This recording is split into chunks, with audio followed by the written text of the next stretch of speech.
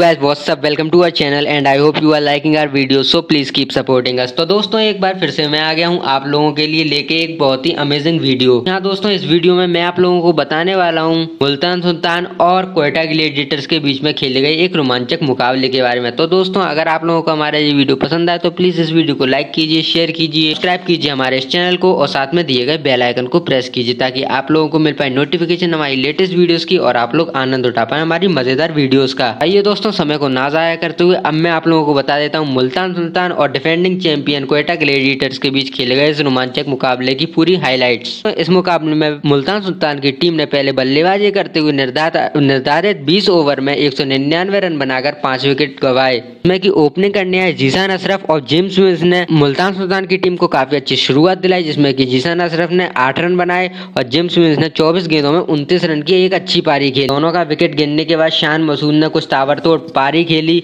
और बत्तीस गेंदों में छियालीस रन बना डाले। दोस्तों, इस मुकाबले में मोइन अली कुछ खास नहीं कर पाए और मात्र छह रन बनाकर पवेलियन लौटते बने। दोस्तों, इस मुकाबले में राय रूसो के मंसूबे कुछ और ही थे और उन्होंने इस मुकाबले में शानदार शतक जड़ दिया, जिसमें की उन्होंने चवालीस गेंदें खेली और सौ रन बनाए, जिसमें की उन्होंने छह छक्के और दस चौके लगाए। अपनी टीम को एक सौ निन्यानवे रनों के बड़े लक्ष्य तक पहुँचाया। अगर दोस्तों, इस मुकाबले में कोयटा ग्लीडेटर्स की बॉलिंग की बात की जाए तो मोहम्मद नवाज़ ने तीन ओवर में सोलह रन देकर एक विकेट चटकाए जबकि नाशिम शाह काफ़ी महँगे साबित हुए और चार ओवर में पैंतालीस रन लुटाकर केवल एक विकेट चटकाया। के साथ सोहेल खान का भी कुछ यही हाल रहा और उन्होंने भी चार ओवर में पैंतालीस रन देकर एक विकेट चटकाया, जबकि मोहम्मद हसनैन और बैन कटिंग और अनवर अली के पर कुछ ठीक रहे। मोहम्मद हसनैन और बैन कटिंग ने एक एक विकेट लिया जबकि अनवर अली ने अपने एकमात्र ओवर में बारह रन दिए और बिना कोई विकेट चटकाए। तो आइए दोस्तों, अब मैं आप लोगों को बता देता हूँ की डिफेंडिंग चैंपियन कोयटा ग्लेडिएटर्स ने एक सौ निन्यानवे रनों को लक्ष्य का पीछा कैसे किया? तो कोयटा ग्लेडिएटर्स की चेजिंग काफ़ी की शुरुआत काफ़ी अच्छी रही, जिसमें कि जैसन रॉय ने 27 गेंदों में 30 रन मारे, जबकि शेन वॉटसन ने 41 गेंदों में 80 रन बना डाले, जिसमें कि सात चौके और सात छक्के शामिल। दोस्तों, इन दोनों का विकेट गिनने के बाद ही कोयटा ग्लेडिएटर्स का कोई भी बल्लेबाज कुछ खास नहीं कर पाया, जैसे की बैन कटिंग बारह रन बनाकर पवेलियन लौट गए अनवर अली चौदह रन बनाकर पवेलियन लौट गए। अंत में आके कोयटा ग्लेडिएटर्स की टीम को तीस रनों की हार का सामना करना पड़ा, जिसमें की कोयटा ग्लेडिएटर्स ने वन रन बनाए, अपने निर्धारित बीस ओवर में साठ विकेट के नुकसान पर। दोस्तों, मुल्तान सुल्तान की सफल गेंदबाजों की बात की जाए तो बिलावल भट्टी, इमरान ताहिर और कुशदिल शाह ने काफ़ी विकेट चटकाया जिसमें कि बिलावल भट्टी ने तीन, इमरान ताहिर ने दो और कुशदिल शाह ने एक विकेट चटकाया। जबकि मोहम्मद, इरफान मोहम्मद, इलियास काफ़ी ज़्यादा महँगे साबित हुए। उन्होंने साढ़े बारह की